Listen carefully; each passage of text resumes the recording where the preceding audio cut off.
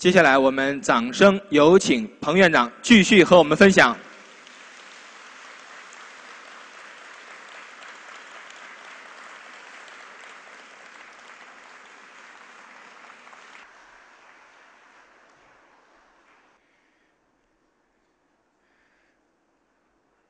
我们讲到，我们每一个人来到世间，我们都要有一个大愿。这个大愿是什么呢？就是要为天地立心，尊重自然规律；就是要为生命立命，尊重生命的价值；就是要为往圣继绝学，尊重自己的祖先，尊重列祖列宗。我们为什么要这样去尊重？当然，我们还包括这些尊这些尊重本身这种。所取得的结果是万事太平。没有这三个前提，如果你不尊重自然规律，如果你不尊重生命的价值，如果你不尊重列祖列宗，你就不可能有一个太平盛世的到来，也没有一个永久的和平安定的一个国家乃至一个世界。那么我们现在，我们继续讨论，继续来分享和沟通，也继续由各位同修向大家请教。关于为往圣继绝学，为什么要用这么大的精力去讨论？我们一定要尊重祖先，因为这就是解决我们从哪里来到哪里去的一个根本的问题。我们看到世界上各个民族有的消亡了，有的兴盛了，是因为什么原因呢？因为民族不能团结，自己打败了自己。有些国家由于自己内部的民族团结问题、自己民族文化的衰落问题，被另外一些国家所利用、所操纵，成为成为一个国家溃乱的一个祸根。因此，从这样反面的教训当中，我们可以看到，一个民族要团结，一个社会要和谐，前提是什么呢？一定要有统一的文化观念。这个文化观念是谁给你的？是祖先给你的。老人家净空教授一直跟我们讲，他曾经跟我们用一个非常善善巧的譬喻。他怎么说的呢？你想，就像我们看到的花瓶里那个富贵族也好，花瓶里那些花也好，过不了几天，过不了大的，过不了几个月，它就枯萎了。为什么？它没有根啊。一个民族的祖先，一个民族列列祖列宗留给我们的文化的观念，是一个民族进步的根啊！中华民族同样不能例外，所以我们一定要认祖归宗。今天到这样一个时候了，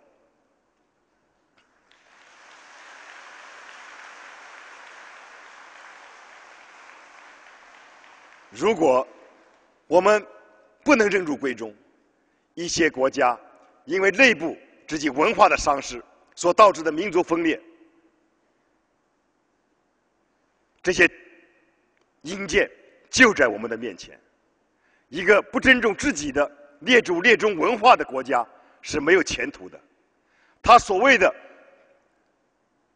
离开自己列祖列宗所建立的新文化，或者吸收的外来文化，都是没有根基的，都是沙滩践踏。而这种文化的冲冲突，必然导致社会的乱象。今天这些个乱象就在我们眼前。值得庆幸的是，我们的国家领导人看到了这一点。在十八大报告当中，我们提出，我们要弘扬我们传统文化，我们要把传统文化这面旗帜扛起来。我们也看到，在全世界，我们设设立了上百所的孔子学院，他们的责任和使命。就是要传播我们老祖宗所留给我们的这些灿烂的、辉煌的文化。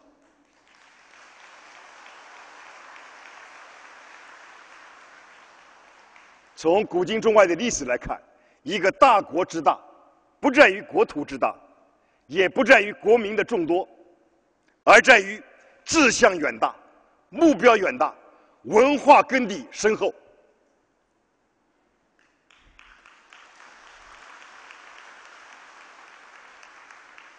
一个大国如果没有大的志向，不从领导做起，树立一个伟大的志向，那么大国的衰落就是必然的。因此，大国一定要有大志向。这个大志向是什么？就是我们的历代祖先所留给我们的，我们的血液、我们的骨骼、我们的黄皮肤、我们的黑头发，这就是中华民族。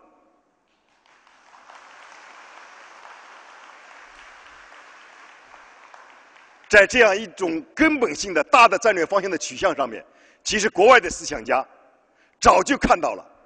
法国启蒙思想家伏尔泰在18世纪的时候就已经指出，中华民族由于是世界上最古老的民族，在伦理道德和治国理政方面堪称首屈一指。为什么？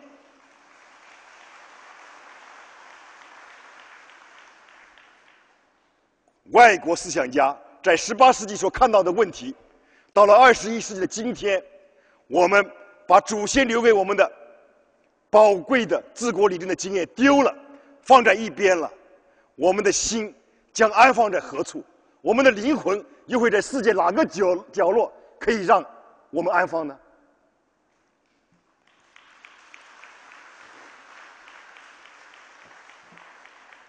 我记得。有这样一位唐朝的诗人，他曾经总结过春秋战国时期六国灭亡的教训。当时秦国统一了六国，战国七雄由秦国实行了统一。他又总结了秦王朝二世而亡的教训。他说了一些深刻的道理，这些深刻的道理今天读起来还是值得我们深思的。他是这样总结的：“他说，灭六国者，六国也，非秦也。看起来战国七雄，其他六国被秦国灭亡，但是这是一个表面的现象。真正的是在于六个国家自己本身的不团结，搞合纵，搞连横。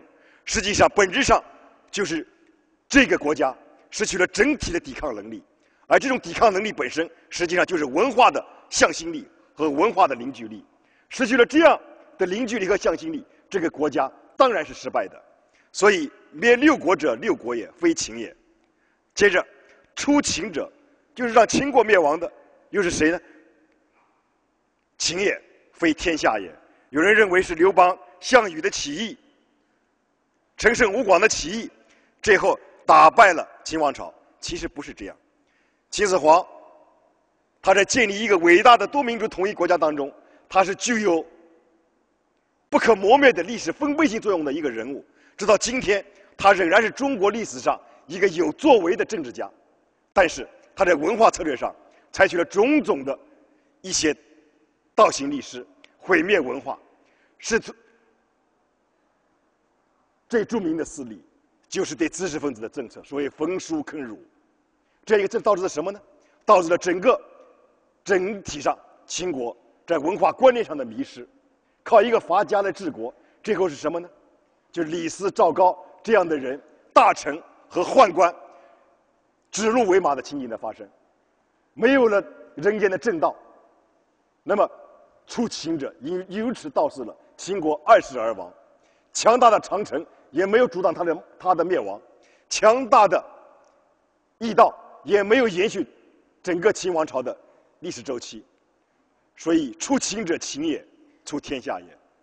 杜牧在总结六国的灭亡和清朝的灭亡的历史教训的时候，其边后边两句话更值得我们深思。他说道：“当秦国灭亡的时候，秦人不暇之而后人哀之，后人哀之而不见之，也使后人而复而后人也。”秦国灭亡以后，没有时间。去总结自己失败的教训，后人总结了，可是总结了又不去做到，说到了做不到，最终导致的，也是后一代的人继续为上一代的人感到耻辱，感到痛心。今天，当我们重温这一段阿房宫赋的时候，我们必须深刻的认知自己的责任和使命。我们还能在我们的手里把我们的列祖列宗所留给我们的传统文化丢失吗？难道要让我们的后人去悲叹、哀悼我们这一代人所做过的这一切的错误吗？我们不能，坚决不能。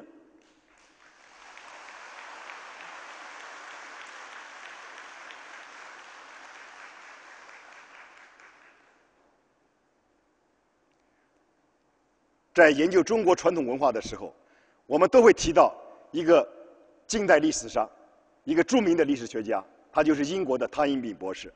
这也是老人家金空教授在他的广为传播的一些博爱与道德伦理的讲学当中，经常提到的一个伟大的学者。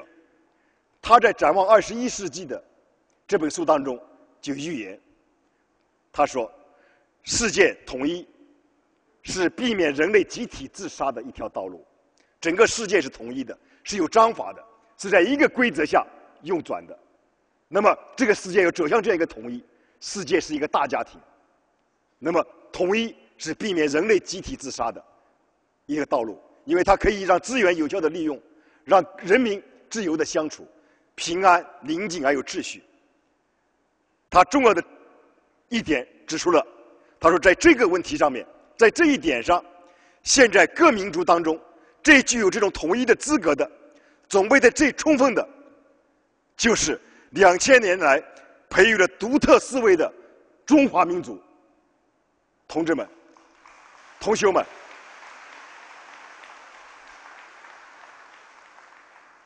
一个伟大的历史学家，他认为有两个基本的判断。第一个判断是，世界的统一可以避免人类集体自杀。第二个判断，世界统一的责任是落在具有两千年历史文化传统的、具有厚德载物、厚德载福的中华民族的身上。所以，今天的三千个火种承担的责任是光荣而艰巨的。我们要有这份使命感。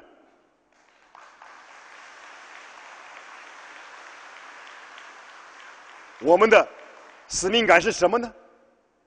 我要与大家共同来有这么一份担当，就是我们在规划对未来世界的设计上面，我们希望找出一个时间表和路线图。中国人应该有这份担当，这也是中国梦的一个最重要的内容。那么，我们要拿出历代祖先治国安邦的战略、策略和韬略。打赢每一场战役和战术，让世界人民看到中国人是真诚的，是博爱的，是自由的，是平等的，也是民主的。这样一个国家是可以交朋友，而不会与世界人民为敌的。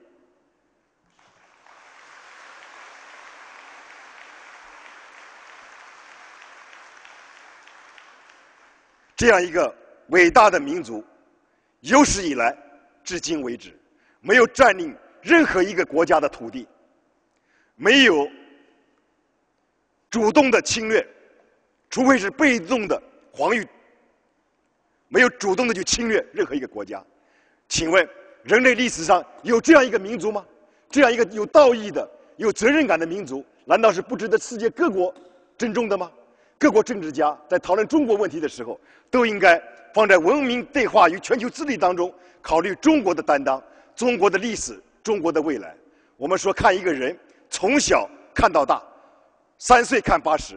那么，从中华民族的优良的基因上来讲，这个民族是一个爱好民族、爱好和平的民族，是可以让人类放心的民族。这一点，直到今天，我仍然以自己是一个中国人而感到骄傲，感到光荣。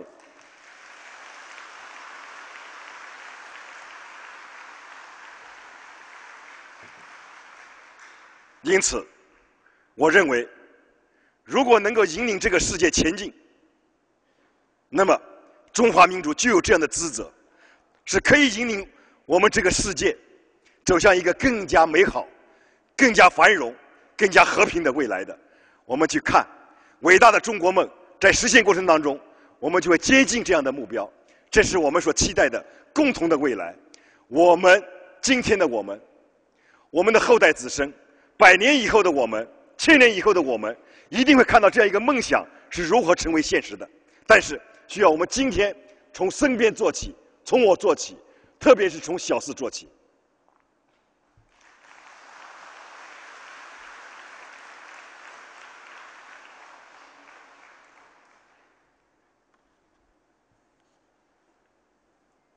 我已经看到了这样的希望。今天，我们在这里静下心来，放下心来，让我们的心安下心来，认认真真的在学习我们祖先留给我们的这一部治世宝典《群书治要》。我们在这里通过这四天多的学习，我们在这里认真的思考，我们这个世界究竟需要什么？今后应该做些什么？什么是最急切的需要做的事情？今天的世界所面临的深刻的危机究竟在哪里？我们过去做了些什么？今后又应该做些什么？通过我们把这样一种思考传递出去，传递给全球的七十亿人，发起整个的内心向善的正能量。特别是传递给各国的政治家，是不是应该慎重的、认真的、重重的想一想，我们作为一个人生与死到底是怎么回事？过去、现在与未来到底是怎么回事？我和我们是谁？我和我们从哪里来？我和我们要到哪里去？一百年前的我们是什么？一百年后的我们又是什么？我们是自我拯救，还是由谁来拯救？我们是希望者，还是绝望者？我们是胜利者，还是失败者？这些问题都值得在座各位，值得全人类七十亿人认认真真的思考。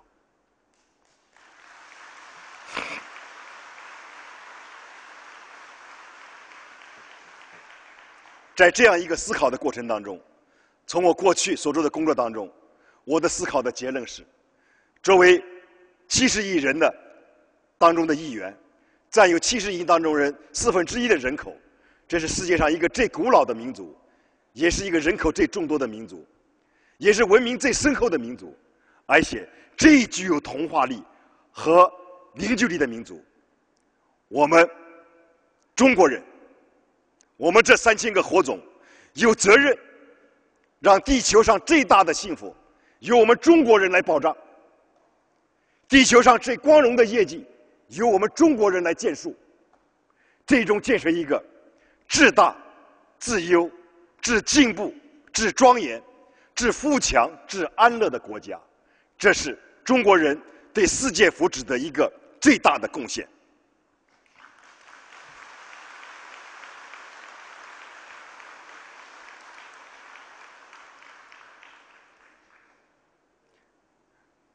老人家净空教授多次发出倡议，他希望在他的有生之年能够看到一个非常伟大的梦想的实现。这个梦想是什么？他说，他真希望找一个宁静的、安静的地方去建一个书院。他说要在这里培养三十个儒学经典的传承人，十个道教经典的传承人。十个佛教经典的传承人，这是一生具有光荣使命、内心纯洁的人才有的梦想。他的梦想当中，是为了让人类生活的更加的安宁，让这个的世界更没有污染。所以，这样一个梦想，我们有责任、有义务去帮助老人家去实现。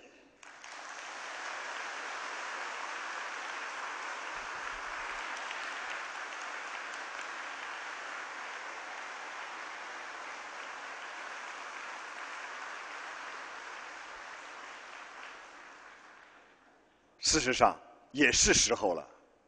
早在十多年前，赵普老等十位老前辈就向全国政协提出了零幺六号的政协提案。在这个提案当中，他们深有我们这个民族在传统文化上对祖先尊重上的一些现实的困惑。他们指出，如果我们的子孙后代不会读线装书，如果我们的子孙后代不会念屏幕上所看到的这样一个正体字，老人家曾经亲口跟我开示说：“他说不要叫繁体字，这就是中华民族的正体字。以后所以我们要改说法，这是中华民族的正体字。”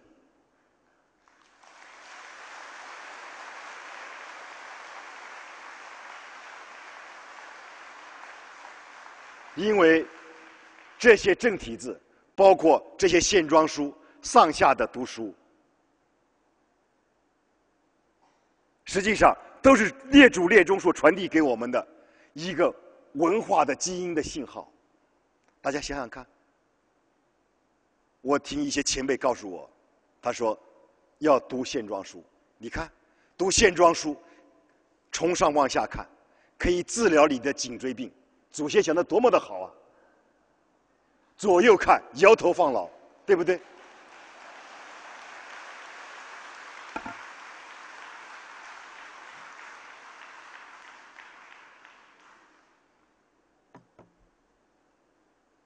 所以我们传统文化，我们的群书制药在印刷的时候，就特地注意了这样的问题，用我们的正体字印刷，用我们的竖排版来印刷。所以今天我也是。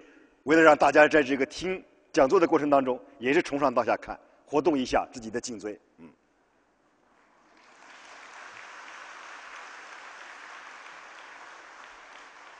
其实，我们的列祖列宗所留给我们的传统文化，对我自己本身的本身的教育也是很深的。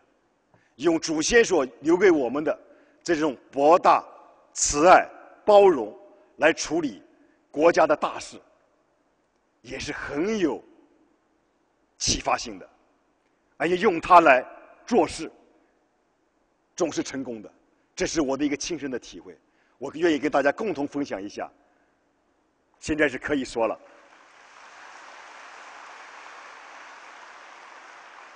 现在是可以说了。今天在香港，两岸四地的同胞都在这里来聚首。今天可以说这样一件事情了。二零零八年，马英九先生当选为台湾地区的领导人。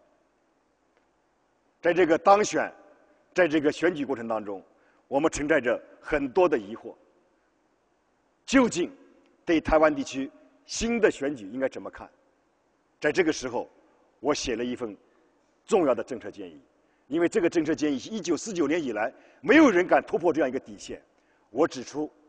我的第一个判断，马英九先生是符合中华民族利益的台湾地区的领导人，必须支持他。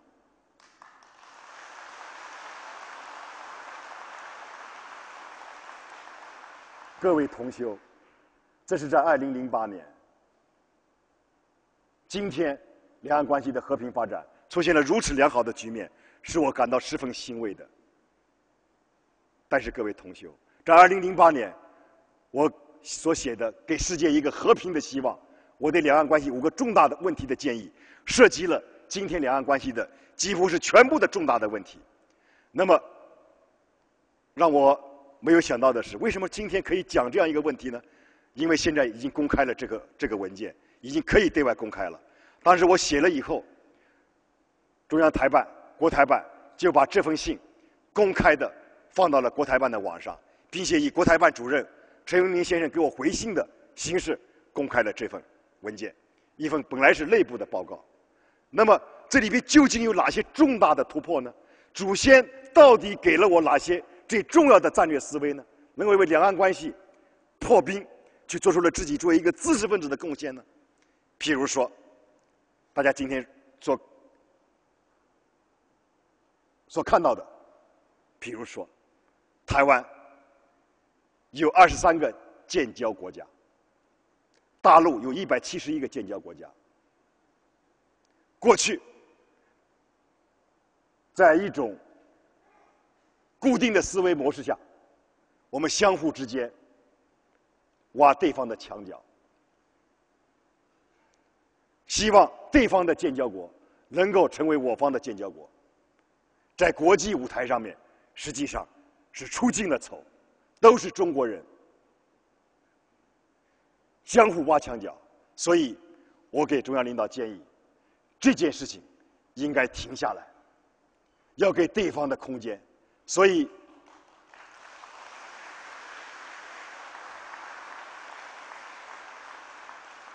所以，二零零八年以来，台湾的二十三个建交国家没有增多也没有减少，其中它的建交国家当中有三个要表示与台湾断交，但是都被大陆婉然的谢绝了。我们可以发展一切的政治、经济和文化的关系，但是台湾是我们的同胞，是我们的骨肉兄弟。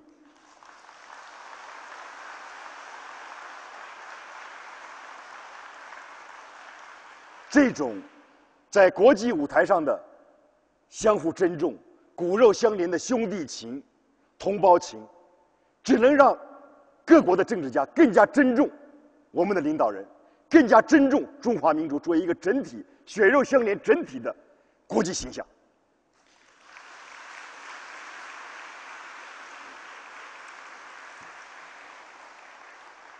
再比如说。因为这是可以公开的内容。再比如说，对于台湾参加世界卫生组织大会，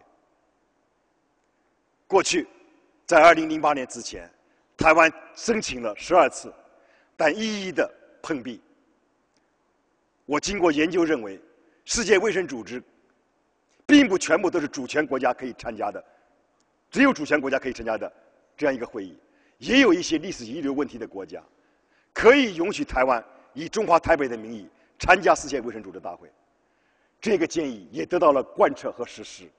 现在，台湾同样可以到世界卫生组织大会当中去交流台湾所发生的一些疾病、疫情，与国际大家庭分享世界卫生组织的人道主义援助。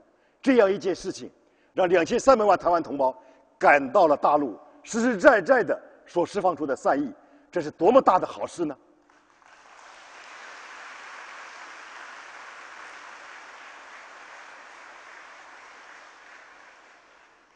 再比如说，两岸关系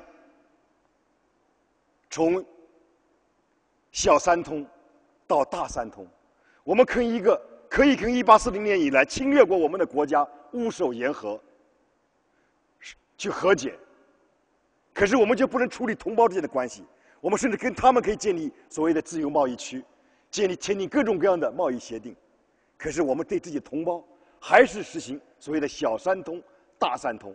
通商、通邮、通航等等，那么我们为什么不能放开视野、放开眼界，去建立一个更大的、更紧密联系的经济合作的框架协议呢？这个建议也就是今天埃克法的源头和起点。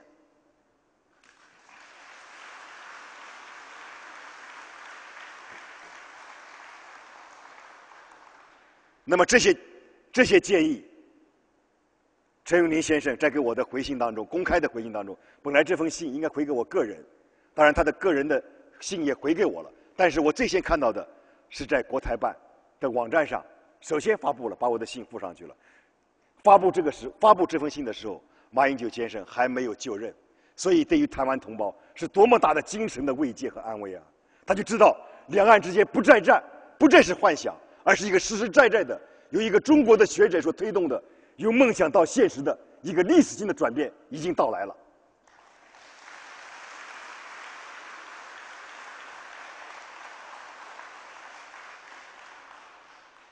所以，一个公共知识分子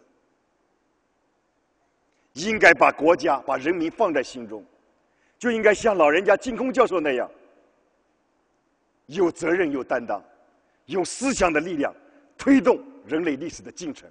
这样一种推动，表明你来过这个世间，你在这个世间留下了你应该留下的名字，你也做了你应该做的事情，这是一种光荣。我知道今天我也不后悔自己所做的这一切的留下的一切的，在目前取得的一些成绩，而且我也以此为动力往前走，取得更大的成绩，为国家、为人民、为世界去做更多的事情。有做这样的好事，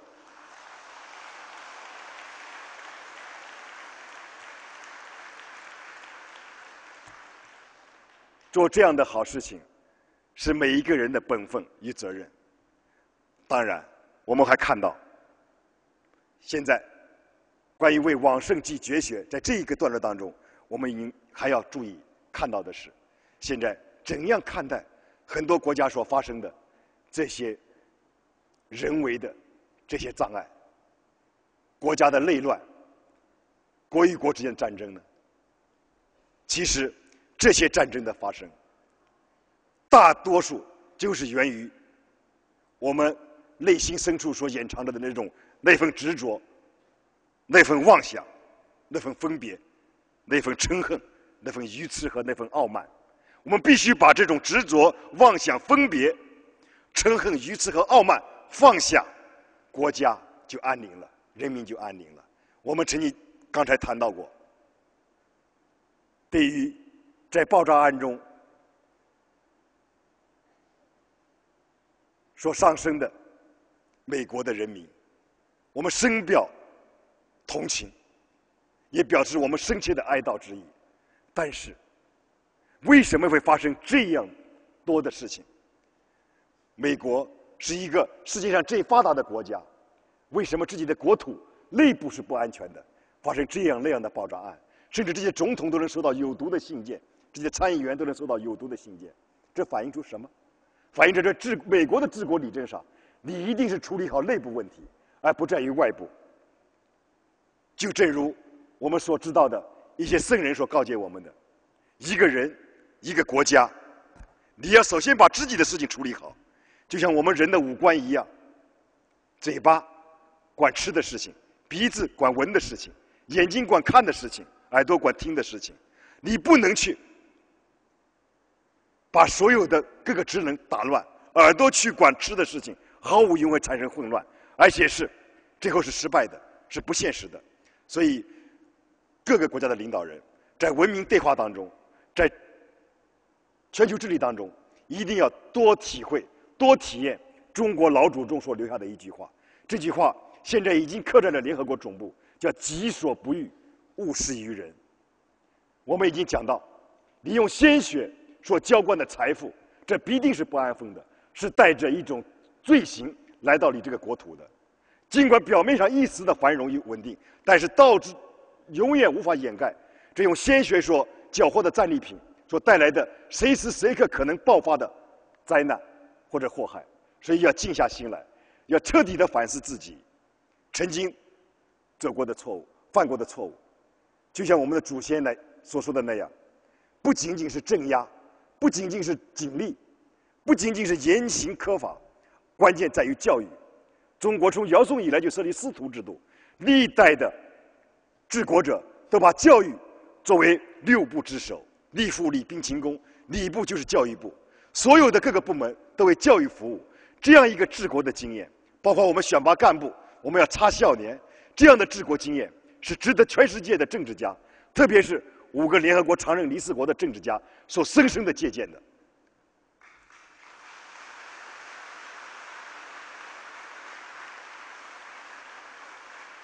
作为一个中国的知识分子，今天在香港研究中国一个古典的、一个古老的一本书籍，这是中国的祖先留给中国人治国的一个经验的一个汇集。他也帮助成功的帮助了日本实现了明治维新的强盛。那么今天这样一部书，通过他对他的学习，我想要给世界各国政治家提个建议，特别是给美国的政治家提个建议。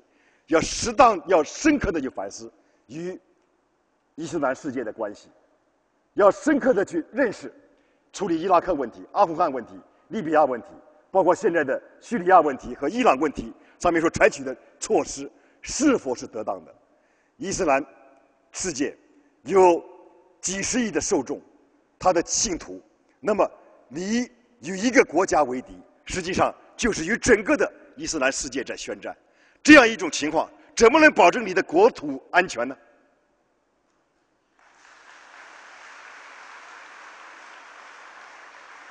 作为一个中国学者，我还要跟美国政治家提出建议。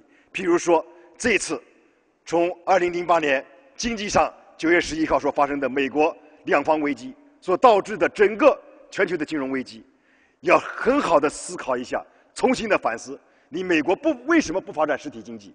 你要靠借别国的债务，你要靠用别国的产品刺激自己的国内的消费，尽搞这些虚拟经济，最后把整个的世界带入了。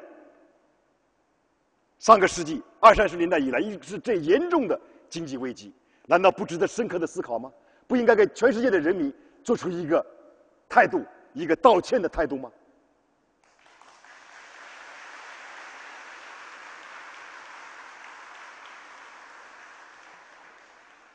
作为一个中国的知识分子，还想请美国的政治家在借鉴东方文明的时候，在治理本国问题的时候，要把自己的心放下来。要把自己看成是世界大家庭当中平等的一员，你不是什么霸主，不要动不动就发起战争或者以战争相威胁，这是极其错误的治国的路线。世界不需要你去充当一个世界的警察，不要去你去做一个正义的化身，这是一个基本的治国之道。我们的中国国家主席习近平就指出，不要这边搭台那边拆台，只有世界人民共同的、相互之间的搭台。才会好戏连台，这才是一个大国元首的政治风度和政治智慧。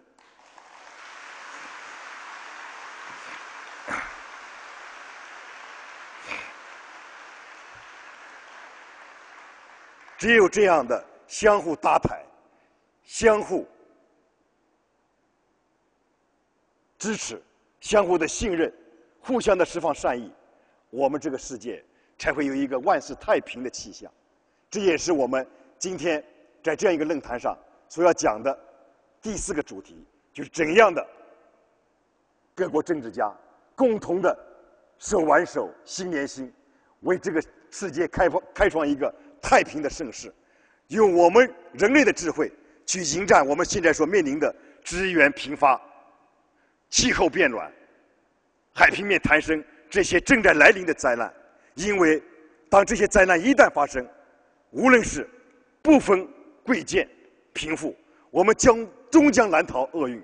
所以，现在没有超越国家利益的大智慧，那么大家就是同时同归于尽。面对这样一个情景，我们有什么理由不静下心来，共同的一起来商量着办事呢？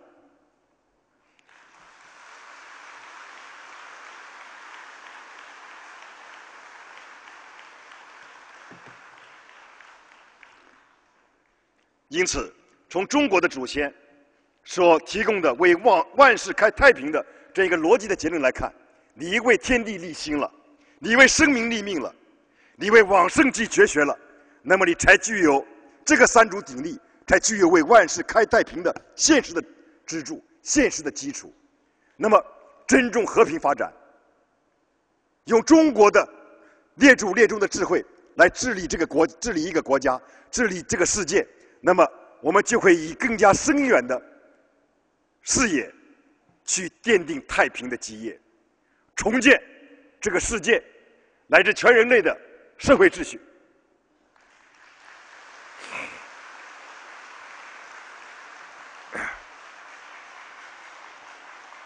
我们要为万世开太平，这是一幅美丽的画面。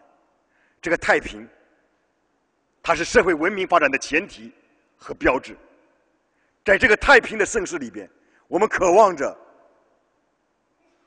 母亲不会失去孩子，我们渴望着老人能够看到自己的孩子平安的回家，在这个和平的世界里边，没有战争，没有饥饿，社会是安定的，生活是美好的，每个人有衣服穿，有饭吃。可以在这块土地上不必担心，走着走着就发生了塌陷区，走着走着就发生了爆炸，马拉松比赛正在进行当中，于是就发生了爆炸，住行都有保障有安全，因此各国的政治家必须静下来思考人类的命运，采取一致的行动，制定治切实可行的、公平发展的治国的政策。而这个政策，请你们从中国老祖先留下的群书治要里去寻找答案吧。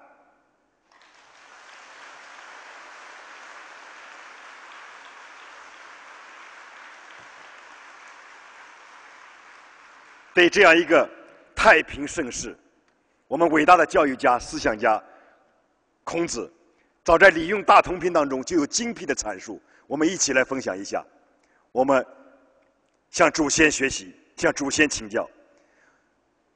他在《礼记大同篇》当中讲到：“大道之行也，天道啊，大道之行也。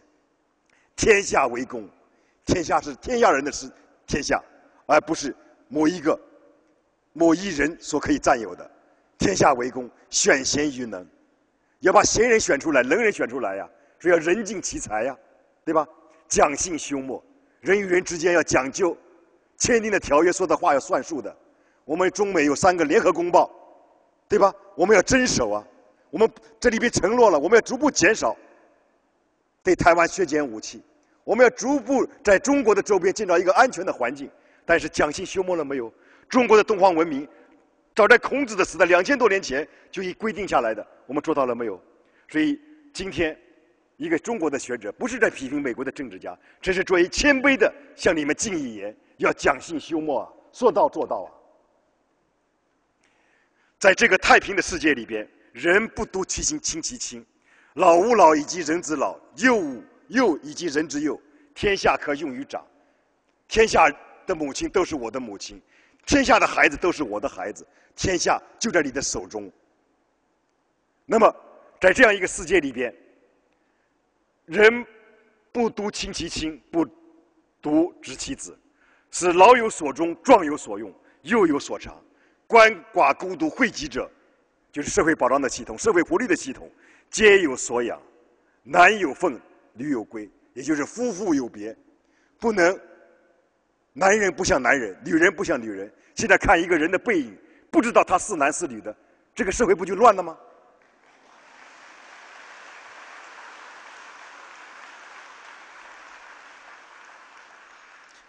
恶或恶其弃于地也，不必藏于己，不必为了自私自利，把财富藏在自己的手里，聚集财富。利恶其不出于生也，恶其不出于生也，不必为己。就像我们昨天听到的吴董事长所讲的那样，整个建立一个幸社幸福型的企业，然后每一个员工都会发现自己的主动性。那个研发部的部长说，自己的发现制造不合格的产品是自己一种人生的耻辱。所以带着这种一种责任感去建设一个企业，那不是幸福的企业，一个美好的企业又是什么呢？因为这样一种大道之行，是故什么呢？谋弊而不兴，搞一些阴谋。对别的国家使阴谋，人与人之间搞阴谋，就不再起来了。一切都是摆在桌面上，阳光下，大家共同讨论事情。你不是霸主，大家都是平等的一票，有平等的参与权。这就是中国祖先留给各国政治家的政治智慧啊！你做到了没有啊？对吧？那么，盗窃、乱贼而不做，这些都没有了。大家都是平等的，夜不闭户，道不拾遗。我们的汤池小镇，在用着的初期。不就实现了这样一个太平盛世吗？那么汤汤池小镇的经验是非常值得去用心去思考的。那么因此外户不闭，是为大同。对这一段文字，各位同修，我想都有深刻的认知。这样一种认知，体现了一种什么？我们的思想家，中国人的政治智慧，早在两千多年前就对这样一个世界进行了描述。有的人可能说啊，这是一个理想国，不可能实现的。但不，如果今天你有这个想法，于是支配了你的行为，那永远实现不了。那么，如果从今天开始，我们从自己身边做起，那么我们每每天改进一小善，那么我们大家就三千人就三千个大善，就可以回向天空，回向大地。那这样一个大同世界也就在我们的脚下，我们就可以走出来这样一条通天大道。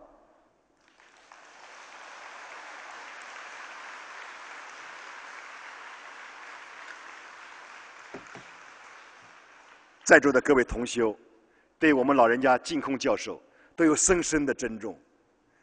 我本人对他老人家也是深深的珍重。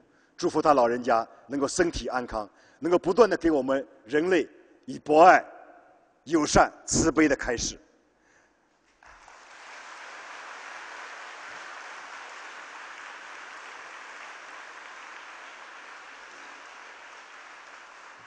其实，对于人类和平世界的描述，佛教是做了非常高尚的、纯洁的描述。其中最有代表性的，大家都知道，就是什么？就是阿弥陀佛的西方极乐世界。阿弥陀佛的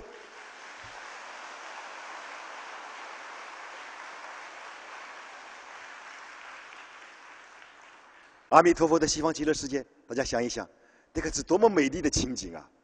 彼土何故为极乐？其国众生无有众苦，大家都不受苦了，都是但受诸乐，大家都是快乐的生活着的，是幸福中国呀，是美丽中国呀，对吧？所以这样一个国家，没有众苦，众生不受苦，它不仅是人类不受苦，而且是动物、植物、空气、海洋、大地都不受苦，只享受诸乐，各种快乐，因此这个世界叫做极乐世界。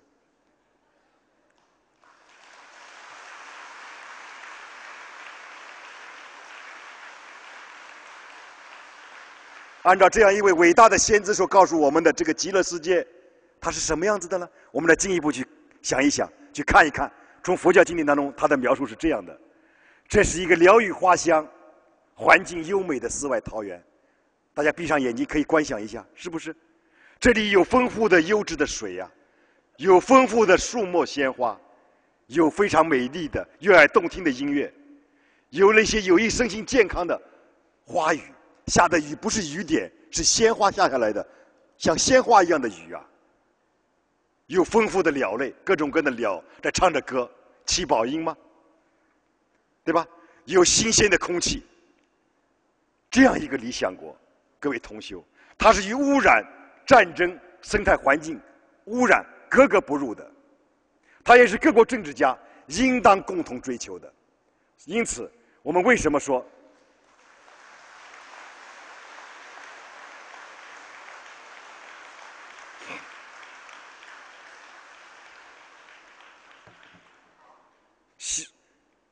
阿弥陀佛所描绘的西方极乐世界，它并不仅仅是佛教徒所追求的一个梦想，实际上它是对现实世界的一个关照和反思，它是人类一个共同的梦想，它也是中国梦的组成部分。所以我们提出要建设美丽中国，实现中华民族可持续发展。我们要改变污染雾霾的天气，我们要改变污染的土壤，特别要改变农村面源的污染，这都是为了建立一个极乐的世界。所做的努力，今天的我们所迈出的这一步，无论是一小步还是一大步，都是向西方极乐世界前进的脚步，都是值得珍惜的脚步。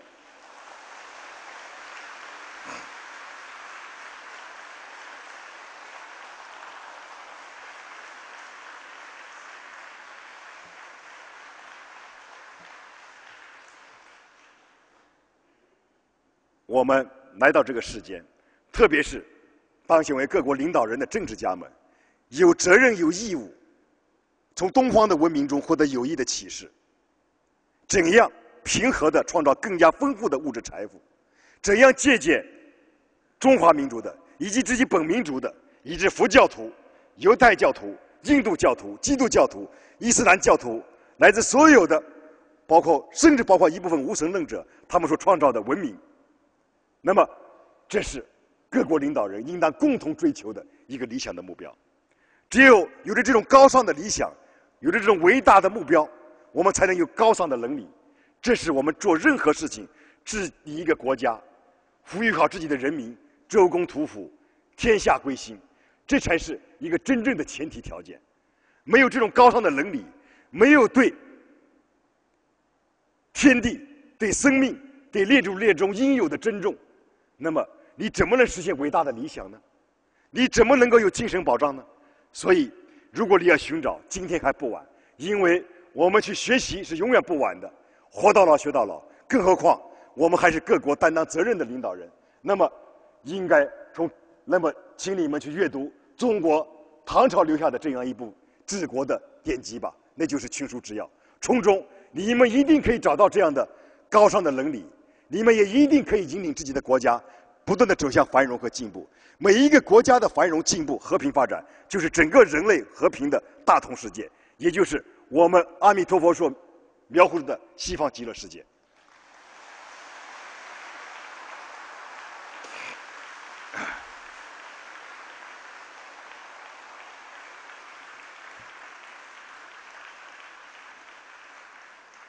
今天，作为一个中国的学者，在这里讲述中国的治国理政的理念和方法，我要有必要谈一谈我们的国家元首习近平主席所论述的中国梦。全世界现在都在关注中国梦，都在关注，在这个中国梦的实现过程当中，中美两个大国之间的竞争态势。在整个世界走向文明和理性的背景下，大国战略的竞争，在我看来，也是正在走向文明。我的理由是，各个国家的领导人，都在从历史的经验教训，从自己本民族的祖先当中学到了治国理政的政治智慧。比如说，作为两次世界大战策源地的欧洲，在战后他们做了什么？他们成了一个。大国大联合的典范，这是什么？咱们就是借鉴了中国文明，借鉴了中国的驱除制药啊。他们走上了欧洲联合和欧洲统一的道路。本来第一次世界大战一九一四年到一九一八年的第一次世界大战，到一九三九年到一九四五年的第二次世界大战，两次世界大战给欧洲带来了深重的灾难。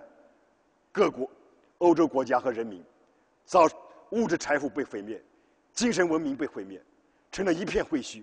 怎么样在废墟上重建欧洲，就成为欧洲政治家所面临的一个大课题。于是他们讨论了欧洲不再战，战争是可以避免的，认为战争是不可避免的，仅仅是狂人的、愚蠢的想法。世界可以没有战争。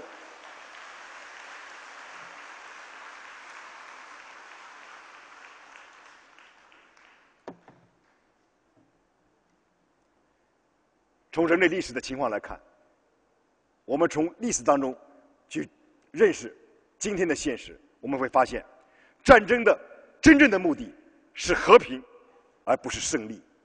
我们战是为了止战，这是中国人的战争哲学、战争逻辑。我相信这一点是可以为全世界提供参考的。我们看到了那些通过战争占领别的国家的一些大国。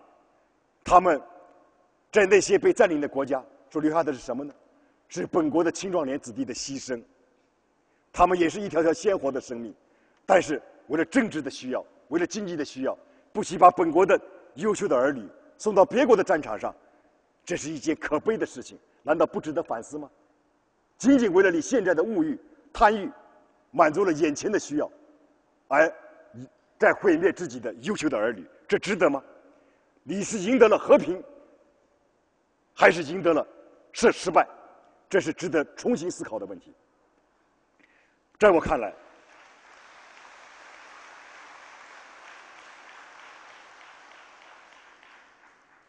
对于大国的政治家来说，这样一个道理，我们必须从东方文明当当中得到深深的启迪和借鉴。我再一次重申的是，战争的目的是和平，而不是胜利。和平才是大国政策的根本理想，这是中国的老祖先说的，请你们认真的去体会一下吧。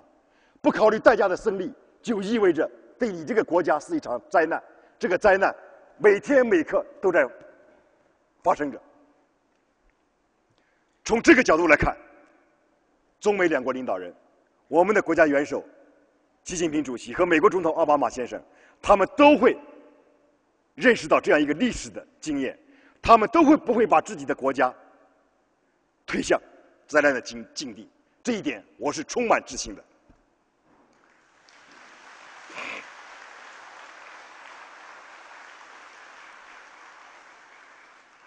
至少，我作为一个学者，我想有三件事情中国梦的实现是可以让美国政治家和美国人民放心的。为什么要提出美国？因为美国现在是世界上最大的发达国家，中国是世界上最大的发展中国家，在太平洋两东西两岸遥遥相对，而且中国的经济总量现在是世界第二，直追美国。那么，对于中国梦，美国政治家和美国的人民都保持着应有的观察甚至警惕状态。但是，从我来讲，我想告诉美国政治家和美国人民，中国梦的实现至少有三点是可以让你们的放心的。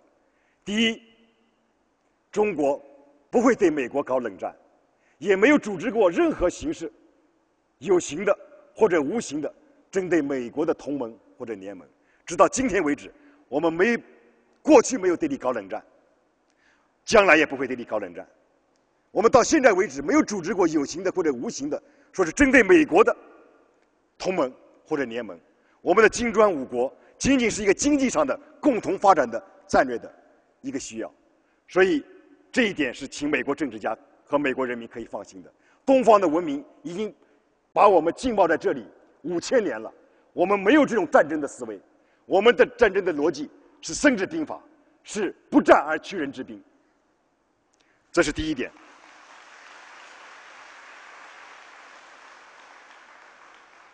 第二点，请美国政治家和美国人民对东方的文明。中国的群书之要当中可以得到很深的体会和借鉴的是，中国在任何条件下都不会去误炸美国大使馆。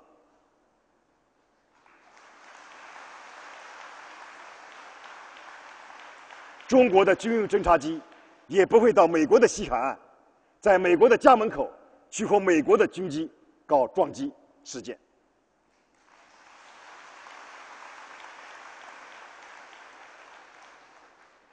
最后把美国的飞行员撞到海里去。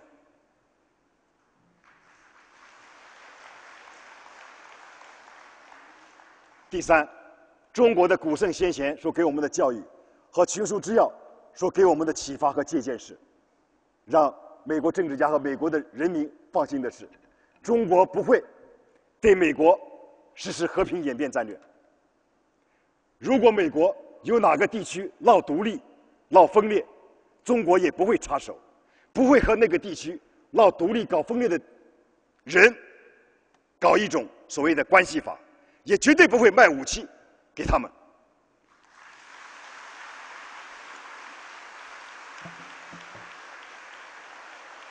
这就是一九四九年以来，中华人民共和国成立六十多年来，中国对美国的一贯的政策。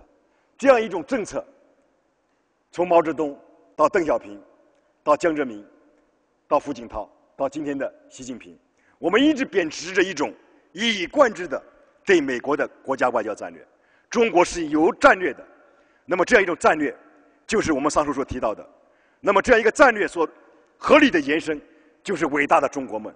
所以，美国的政治家和美国人民对中国梦的实现，应该保持一种欢迎的态度。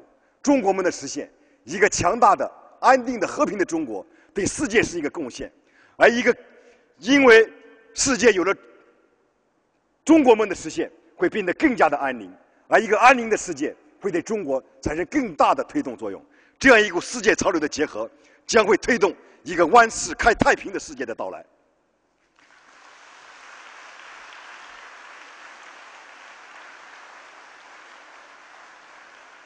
今天。我们在这里学习中国列祖列宗所给我们留下的这样一部辉煌的宝典。其实，我们说尊重列祖列宗，不仅仅是我们在座的中国三千位同修的事情，十三点四九亿中华民族、中华儿女的事情。其实，我们也同样希望美国的政治家和美国的公民从自己的祖先那里去获得一些政治拙见。他们的开国元勋华盛顿。在他的政治遗嘱当中说到这样的话，实际上是也是可以去为往圣继绝学的。奥巴马总统也是可以为往圣继绝学的。那么我们不要在今天的发展当中去忘记华盛顿这样一个政治的遗嘱。华盛顿是怎么说的呢？再说为未来的美国奠定的基础当中是怎么说的呢？他说：“一个国家总是惯于怀恨，或者喜欢另一个国家，他便让自己形同成为一个萝莉，也就是让自己成为自己的爱与恨的萝莉。各位同学记住这句话：华盛顿说，你一个国家不要总是去仇恨另一个国家，这个是邪恶国家，那个是轴心国家，总是抱着仇恨对待别的国家。你自己能有好吗？或者你总是喜欢，啊，你要去说跟这个国家好是我的盟友，那个国家好是我的盟友。那么当你喜欢一个的时候，你就不是把仇恨的种子送给种在另外一个国家的心里了吗？所以华盛顿说，你不要总是，而且成为一种习惯，恨一个国家，爱一个国家。你要这样的话，就会让自己成为爱与恨的萝莉了。这句话多好啊！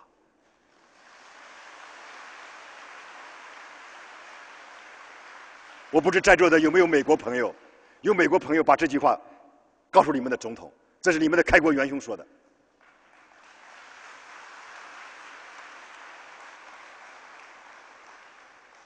所以，华盛顿还说，在对外政策方面，我们主要的处事守则是扩大我们与外国的贸易往来，尽量少同他们发生政治联系。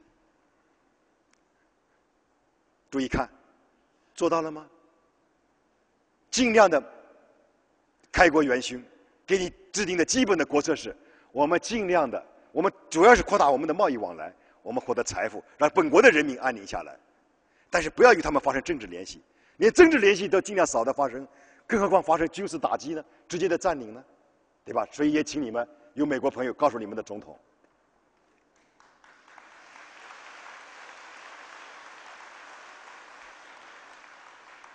华盛顿还说，美国的祖宗还说，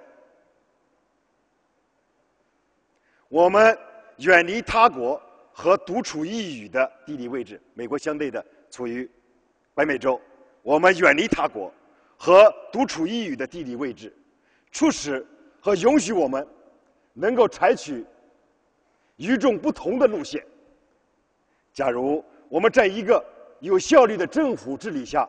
作为一个民族生存下去的话，那么在不远的将来，我们就可以不至于因外国人入侵而遭到物质损失，就可以采取使我们在任何时候都能保持中立的立场而受到尊重。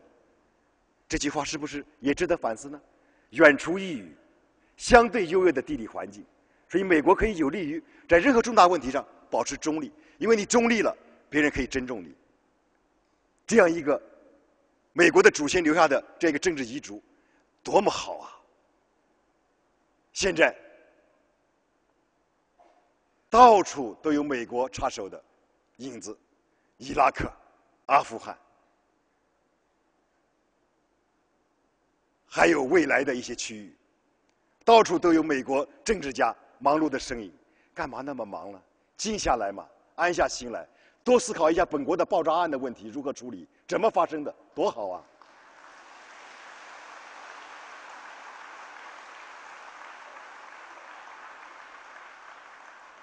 一句话，八个字就可以告诉你：私有不得，反求诸己啊，对吗？对吧？你国内出了问题，你要反求诸己啊！我出了什么问题了？美国的祖先华盛顿还告诉。美国今天的子民说：“为什么我们要放弃这种独特的地理位置带来的好处呢？为什么要离开自己的基地，而到外国去建立基地呢？我们的真正政策是要避免任何外国与任何外国永远结盟。你看，说的多好啊！”这是美国的祖先告诉他的，所以美国政治家应该为往圣继绝学。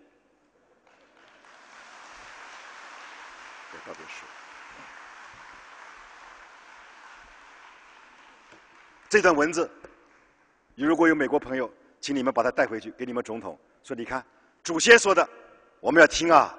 不听祖先的话，刚才我们的主持人讲吗？孩子有问题都要问父母。”那么今天我们遇到问题了，我治国出现问题了，我问谁啊？问我们的开国元勋，用问问话老。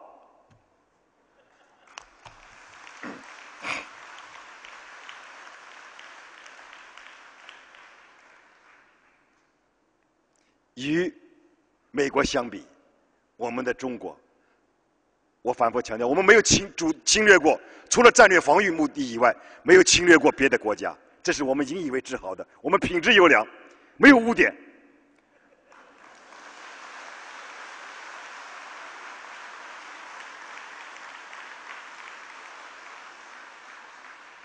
我们没有占领过任何一个国家一寸土地，因为我们中华民族的祖先早就告诉我们。把整个世界拥抱在自己的怀里，这个战利品太沉重了。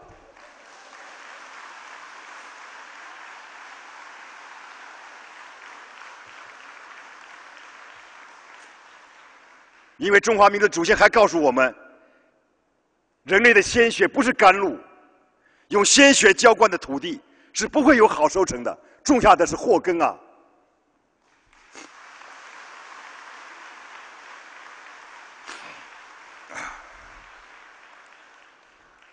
从总体的态势来看，中国梦的实现离不开美国的支持。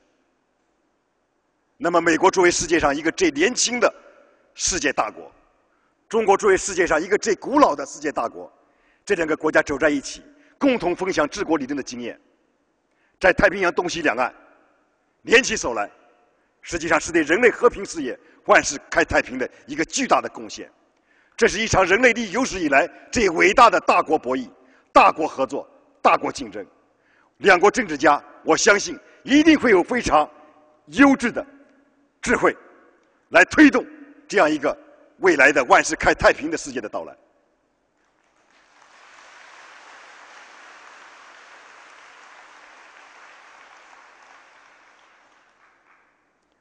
我想与大家共同分享的是。我们的国家元首习近平主席所提出的中国梦，现在实现这个梦的条件从来没有今天这样好，因为他身体力行，从一个个餐桌上面开始做起。大家看到大陆上说正在进行的光盘行动，把换盘子吃光了这样一个行动，就是一个非常典型的证明，非常典型的事例，证明他知道民间的疾苦，知道基层发生了什么，所以。我们实现中国梦的条件，有这样一个好的掌舵人，条件从来没有这样好。我们现在距离中国梦的目标，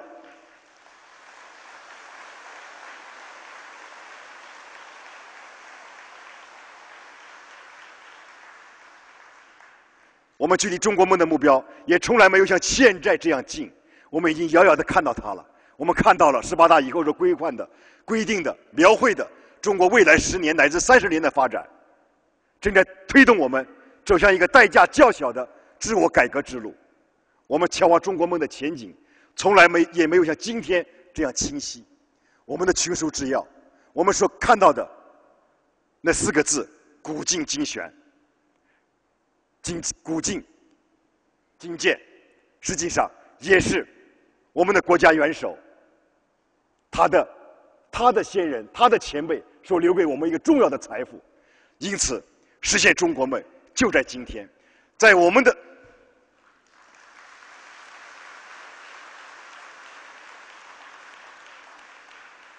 有了这样一个好的基础，我充分的相信，中国梦的实现是中华民族对世界福祉的一个巨大的历史性的贡献。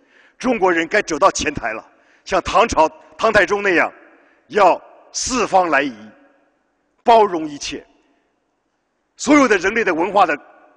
火种都可以在这块土地上生根、发芽、开花、结果。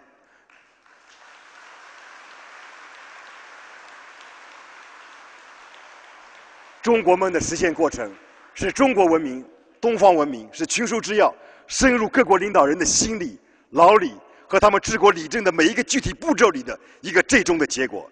今天，因此，今天群书之要的论坛，是我们对全世界的发展和进步事业。送上的一个历史性的激励和鼓舞。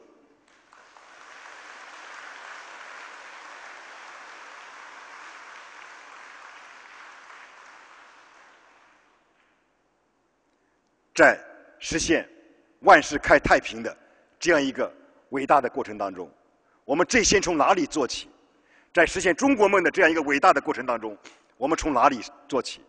我个人的建议是，我们应该重新认识宗教。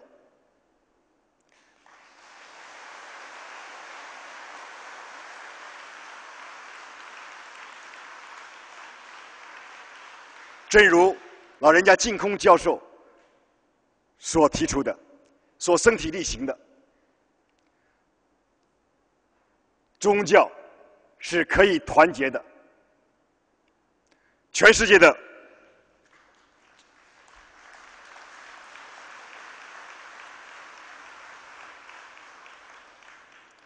全世界的佛教徒、基督徒、穆斯林教徒、伊斯兰教徒。犹太教徒以及其他的部落的教徒，我们应该松开紧握的拳头，伸出友谊的手。首先，在宗教上把我们温暖人心的力量发挥出来。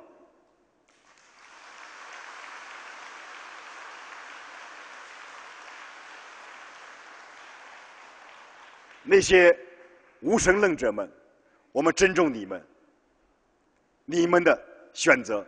你们做出自己的判断，但是不管你们最终选择哪一种宗教，我们都应当承认，世界上各大宗教的中心的教义是没有煽动仇恨的，他所提倡的都是博爱、宽容、相互谅解，并与我们一起短暂生活的。身边的人，因为我们只有百年的时光，共享任何一个宗教的神灵都不会匹负那些让无辜者丧生的行为的。全世界所有的宗教，在我看来，都有一个凌驾于一切之上的共同价值观，就是我们刚才说的平等、博爱、相互宽容。释放善意，因此宗教首先应该团结起来。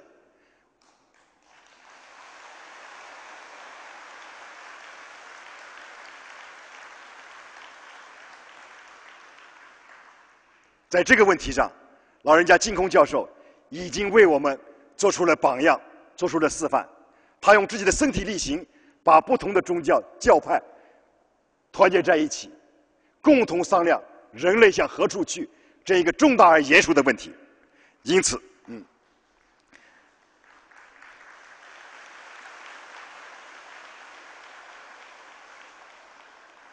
因此，我认为，为万世开太平，首先要从宗教团结开始，不能在一个宗教内部分成这样的派别、那样的派别，这都是不符合宗教中心教义的要求的。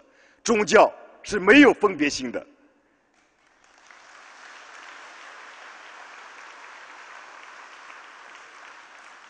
为了说明这个问题，我想告诉大家，为什么为万世开太平，首先要从宗教团结开始。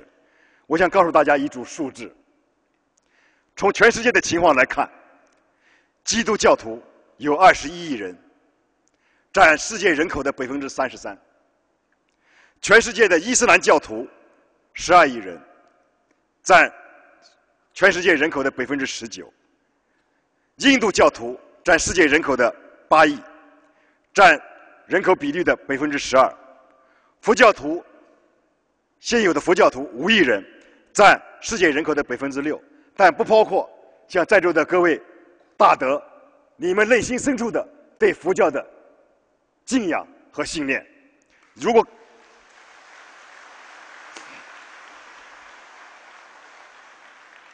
犹太教徒占犹太教徒和其他教徒。加起来两亿人，那么没有宗教信仰的无神论者十亿人，占百分之十三。在中国的情况是，都注意看，世界佛教徒从现有的数字来看是五亿人，在中国的佛教徒是两亿人，在中国的基督教徒是一亿人，在中国的伊斯兰教徒是四千万人。那么十三点四九亿人，大约有十亿是无神论者。我们期待他们对宗教重新认识。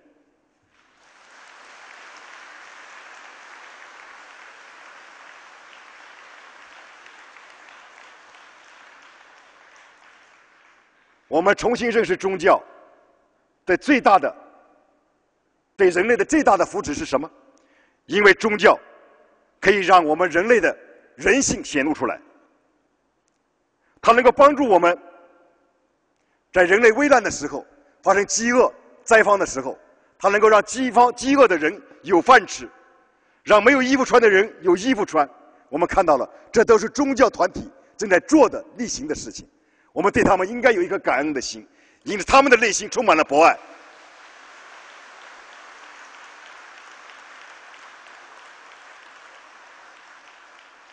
在战争的创伤以后，是他们走进这些受战争创伤的人们的心身边，为他们抚摸受伤后的心灵；是他们在地震以后，在灾后的废墟上帮助他们进行重建，给他们心灵以慰藉。这就是宗教，所以我们必须重新认识宗教的力量。这是万世开太平的最真实的基础。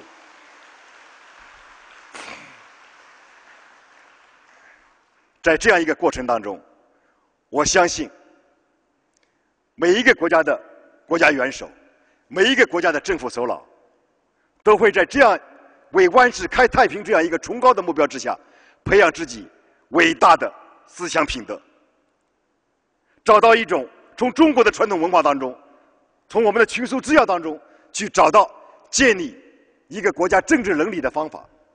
我相信，看完群书治要，特别是当我们把英文版的群书治要送到各国政治家的手里的时候，他们一定会发生一些改变。就像马来西亚的前总理和现任总理一样，他们都非常喜欢的、无限欣喜的。从老人家净空教授的手里接过这样的书，认为这样的一个一本书是治理国家的一个重要的蓝本。我也相信，所有看到这本书的各国政治家们，他们也会找到从个人和谐进步到整个国家乃至社会和平进步的，找到这样一个人类文明的规律。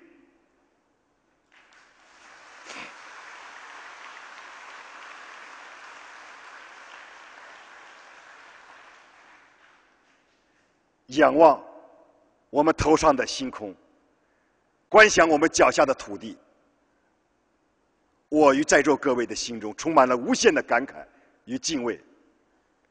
我们心中的道德良知，在今天这一刻，不断的被唤醒，不断的被激发。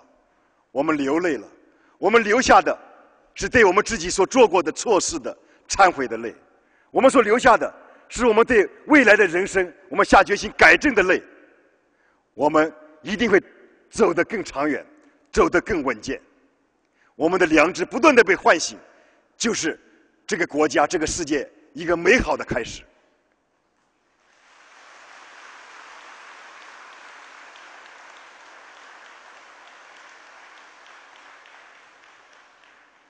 在我们被唤醒的良知中所包含的，是我们作为一个人的，是作为整个人类的善良的愿望。与追求，是由我们每一个人的，是由我们整个全人类的心灵所结出的最美丽的果实，最杰出的创造。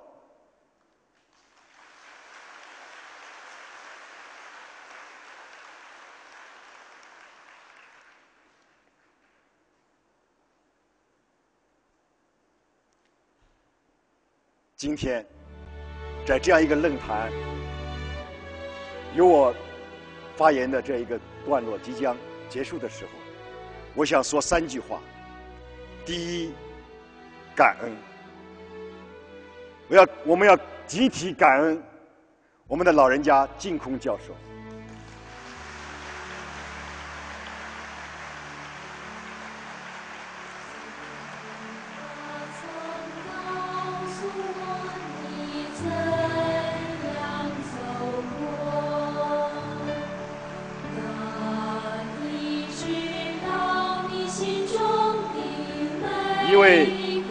八十七岁高龄的老人，用五十五年时间向世界去传播他内心的真的、善的、美的、博爱的、平等的、包容众生的梦想。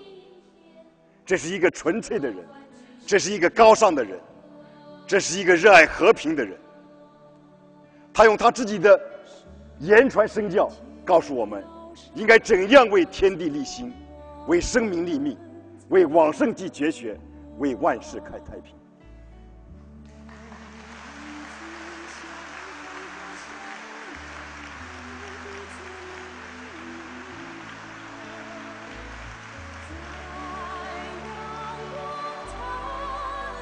在这里，我想到了一件神圣而庄严的事情。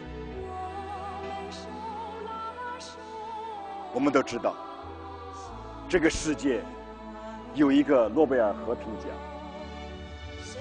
他要奖励给哪些人呢？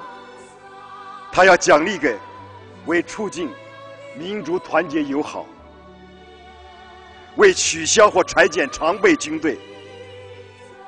为世界和平会议组织和宣传尽到最大努力和做出最大贡献的人，各位同修，我们的老人家净空教授是不是这样一个人啊？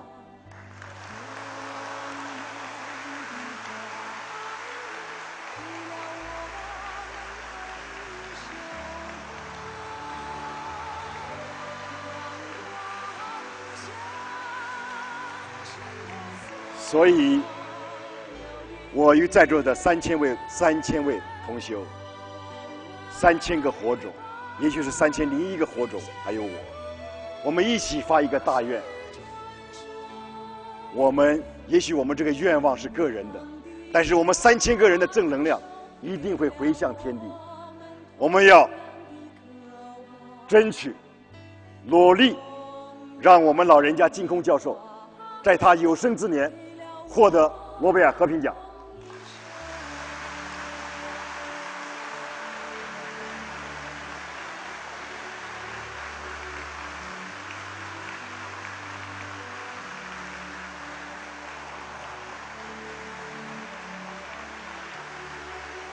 我提议全体起立，为这个大院鞠躬，向天地鞠躬。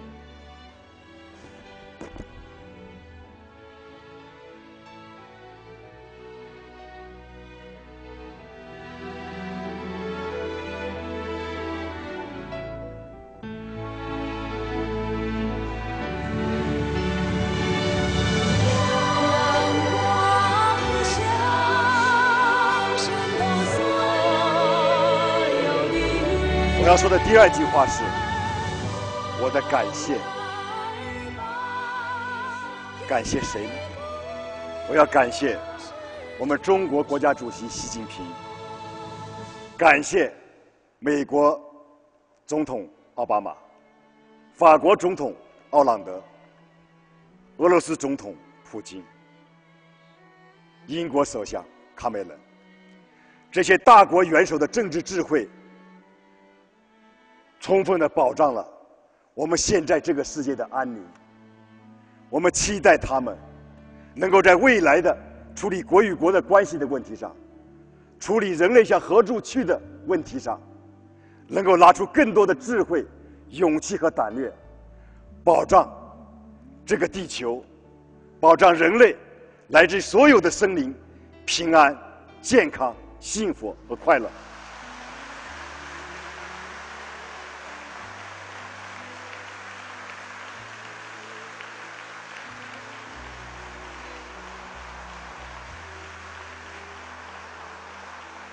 他们过去所做的，以及将来所采取的行动步骤，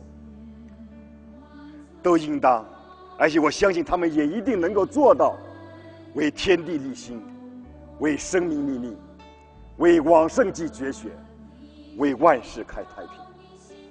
因此，我建议全体起立，为中国国家主席习近平。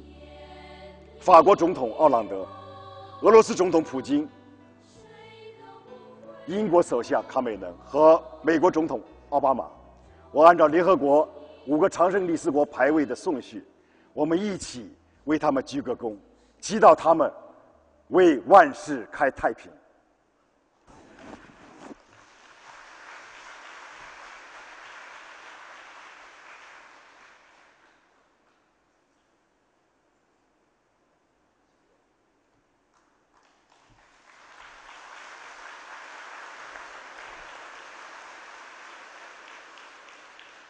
我要说的第三句话，就是我内心深处的一种感动。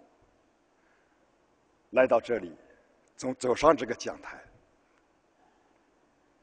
我的眼里就含着泪水，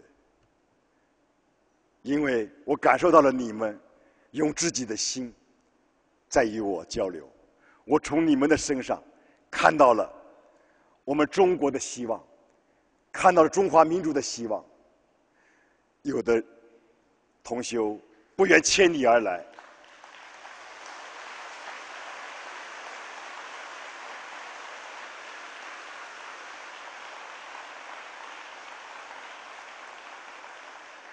来到这里所追求的，就是自己内心的慰藉，对自己、对家人、对身边人的一种爱和博大，这是。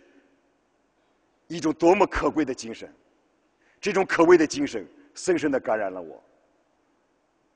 以后如果有类似的活动，我还一定来参加，一定与大家来分享。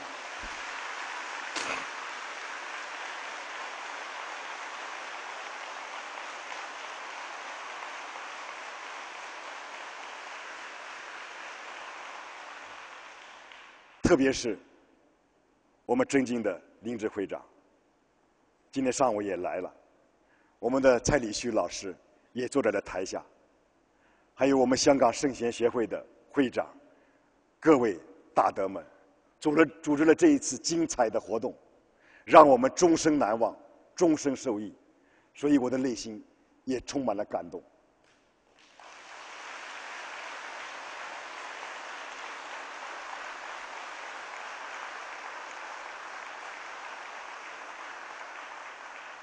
所以，我要再一次说出我一个公共知识分子的一个梦想：这样的论坛要办到内地去。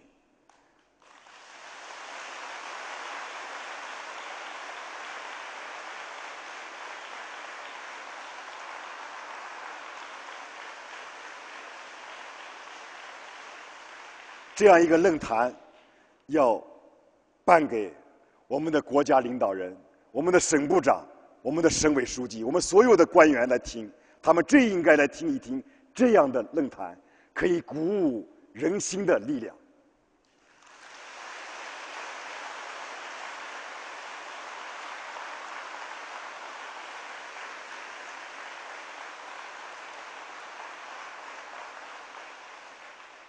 因为在座的各位同修，给了我巨大的正能量，所以。最后这个鞠躬，大家都请坐。我向大家表达我的感恩、感谢和感动之心。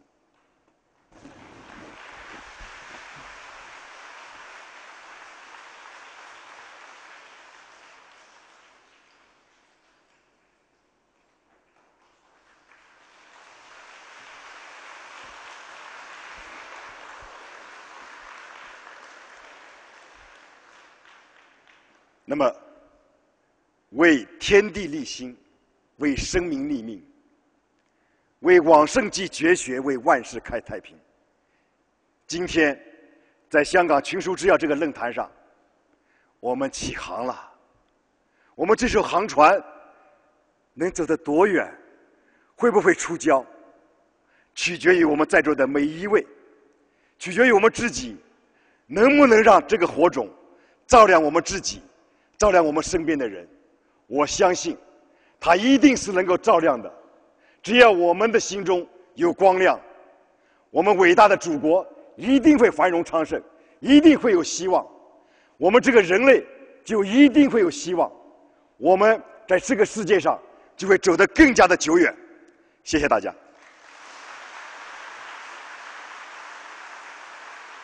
我们我们感谢彭院长和我们真诚的分享。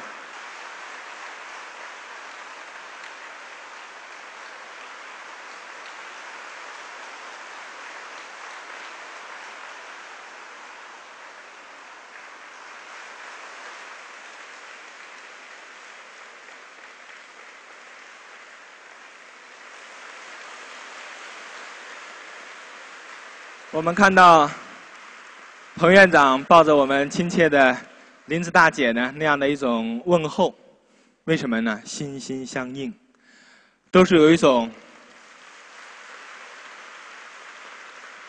希望我们的人民日子越来越好，社会安定，世界和平。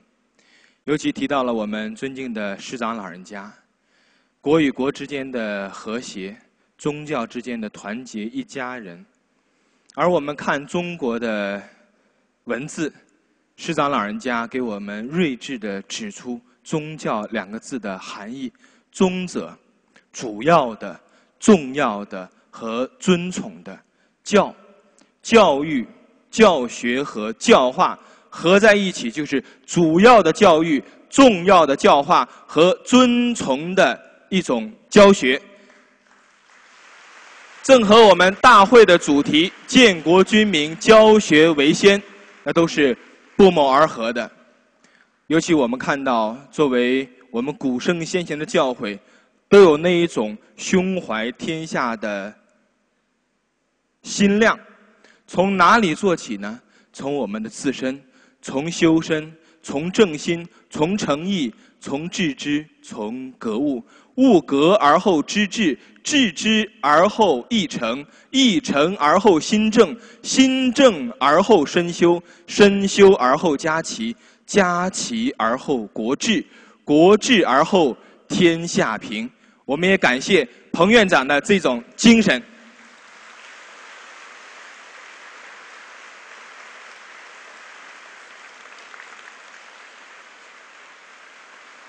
我们。上午的课程呢，就到这里。我们先掌声恭送彭院长、林子大姐、老师和王会长呢，先休息。